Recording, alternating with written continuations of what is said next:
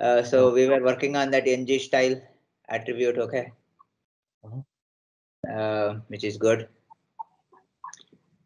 Uh, so that worked fine, right? So hold on one second. So we explored, so you, we understood that uh, usage of uh, ng style attribute, right? So that uh, style class like online and all those things, okay? You could have, you could have multiple style classes. There's nothing wrong in that. Just wanted you to be aware of that, okay? This is one thing. Uh, hold on. Okay, so we will explore a little bit on input output. Uh, I need to give you one something on ng switch. I'll try to get that example for you. In the meantime, uh, I'll try to walk you through on the ng switch. Okay, sorry, not on the ng switch, on the input output.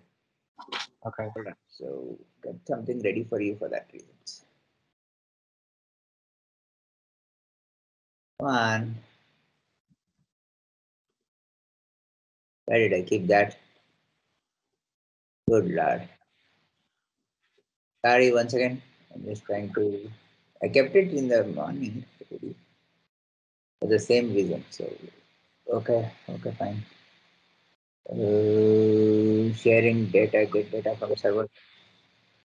Wait one second.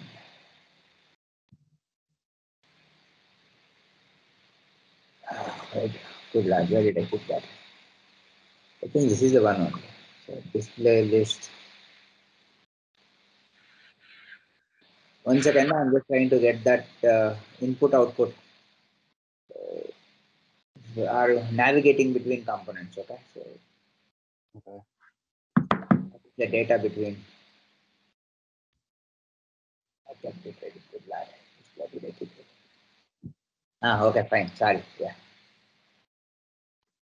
So uh, remember that you have, I was telling you that we have a list of servers. From the list of servers, we are going to get the server details based on each server. Correct? No. So similar to the same example, you have a parent and a child component, or you can have communication between components, okay, certain times. And then you might have to pass the data between the parent to the child or between the child to the parent. Okay. So let's assume that I'm passing the data between the parent to the child. Okay. So in the child, what I will say, the child will receive, like example, I have a list of servers. Now you select a particular server and I will say, give me the details.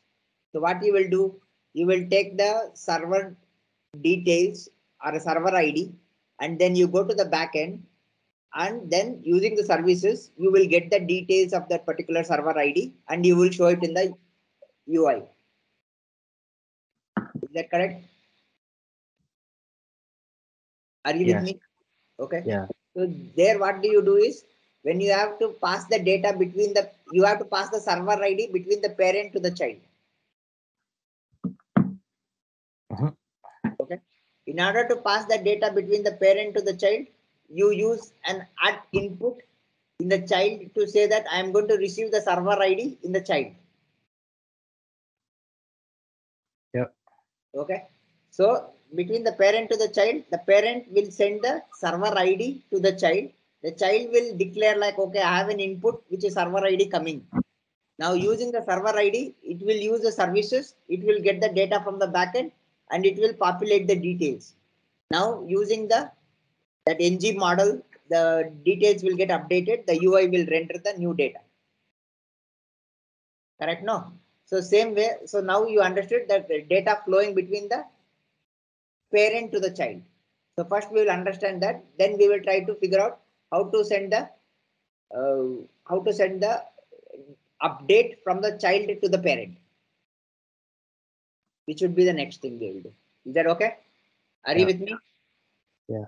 So observing this in the what do you do is like in the child component, what do you do? You declare an at input tag like this at input. And instead of the item, you can say call it like a server ID. I can show you one example what I have here, like input output. So wait one second. Uh, I'm opening that. So are you able to see my screen right now? Yeah. So if you observe that the parent will have, okay, so I have a parent component.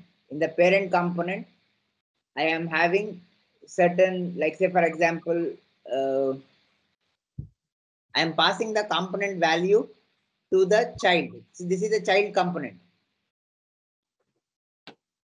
or a child tag. Okay. So the Mhm. child component will receive the uh, parent component dot value and will be sent as an input to the child component. So in the child component, you will see it as an at input. Mhm. Ignore the output for now because we will uh, deal with the output later. But first we'll understand the input. So the parent will send the parent ID, like the server ID kind of thing, and then you will pass on that server ID to the child. The child will receive that server ID and will display it onto the child component. So the ignore this for now. Okay. So observe that value received from the parent component is the P data. It can be anything. It can be a string, it can be number, it can be boolean, anything. Okay. So I will send I will send this uh, code. Referring to this code, you create a server ID and pass the server ID from the client to the server. Sorry, from the parent to the child. Okay. Okay. So I'll send this example to you. So hold on one second.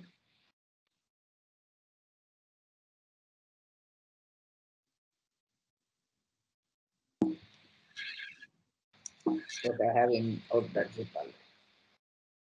I'm up, I'm uploading it into that particular website. So.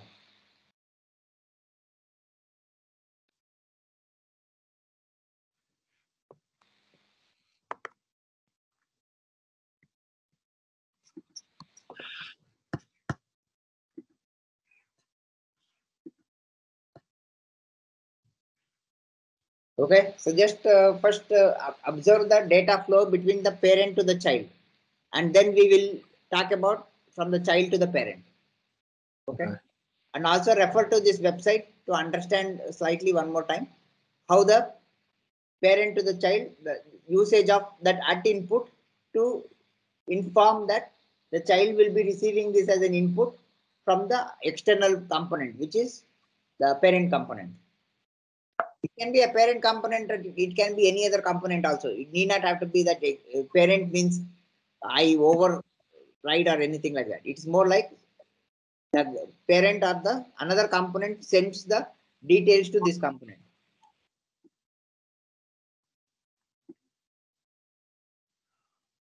Okay, so I'm setting up the project right now. No problem.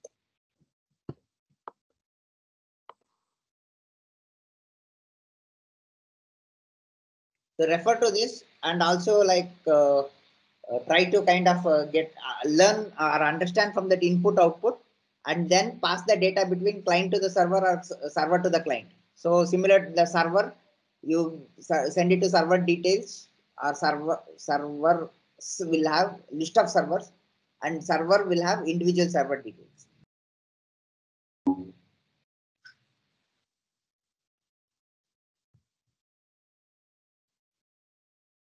Um, what was the command we ran again?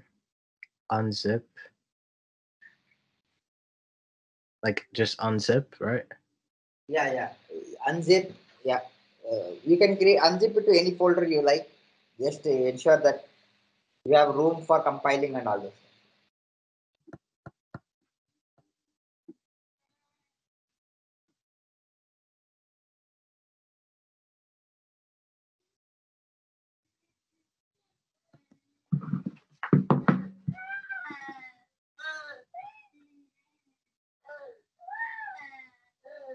Uh, let's see here.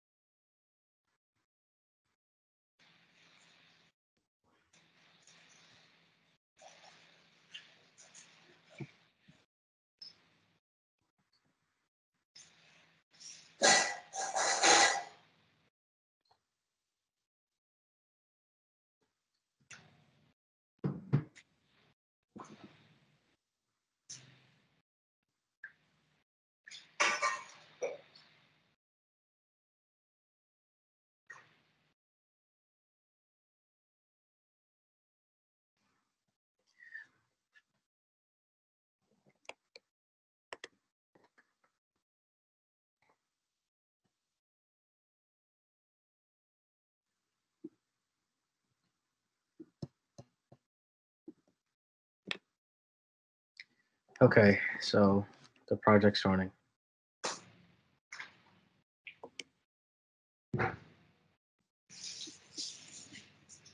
Hello? Yeah, yeah, I'm here. I'm here.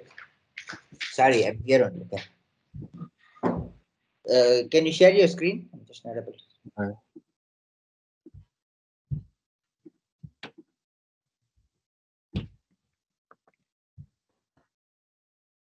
So yeah.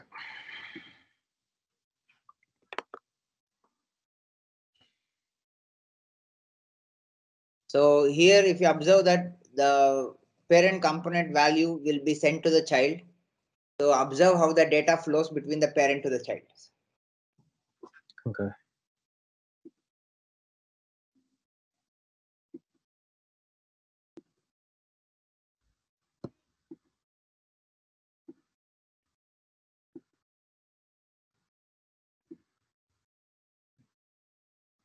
And you can manipulate and change the code. Don't bother. Don't worry about all this. Okay. Ex- play around with it. After this, I'll share one more code for input output, which is little more complex, but yeah. More bigger project, but yeah.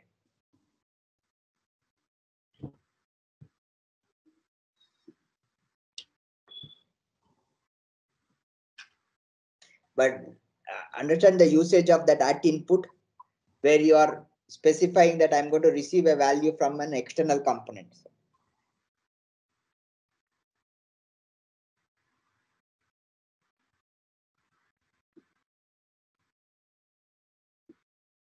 Uh, data. Okay. Okay. And the child.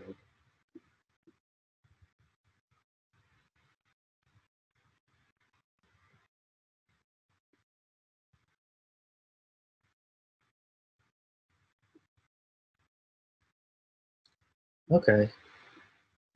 So um So referring to this, use your other uh, project and then uh, add server. Servers will send the server ID to the to the child component, which is the server. okay. Let's just run the other one. Yeah.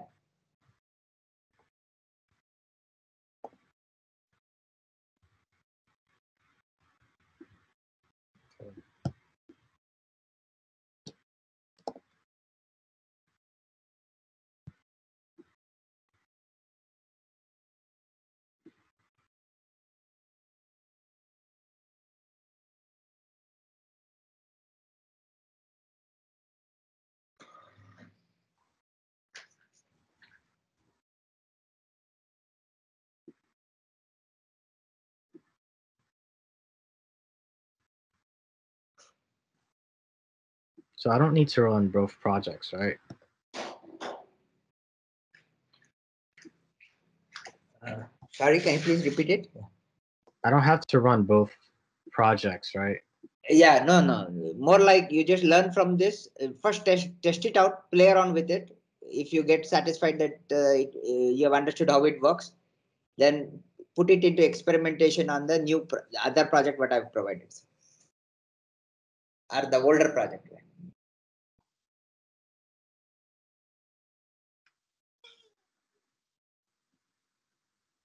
Uh, first, uh, play around with it, like just to make sure that you get the confidence that it is working as expected. Means at least sending the data between a parent to the child. I think I got it. Okay, sounds good. Yeah.